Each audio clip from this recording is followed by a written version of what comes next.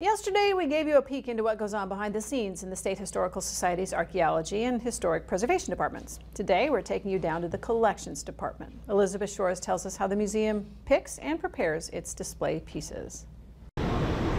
All of the pieces on display in the North Dakota Heritage Center and State Museum have to be collected and assessed by someone first. One of those someones is Assistant Curator of Collections Lori Noner. She helps select and evaluate items for the Historic Museum collection, which showcases items made by people throughout the 1700s up to the present.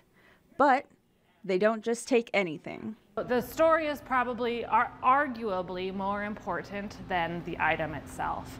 The museum looks for items that have a North Dakota centric story. Noner gave us a sneak peek of some of the items set to go on display in a basketball exhibit this February. She says these shoes were worn and donated by a man who wore them at St. Mary's High School and later went on to be a naval officer. The other items on this table were either made in North Dakota or used here. This is the collection space where items go when they're not on display.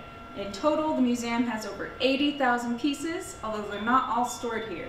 After a bunch of planning, and once Lori is done prepping the items, exhibitions manager David Newell takes over. He plans and arranges each display and works with the museum's in house media studio and carpentry shop to create the exhibits. It's not just me. There are at least 28 people working on every exhibition, and you don't see them, but you see their talents and the end product of what they create. A lot of thought and work goes into each exhibit.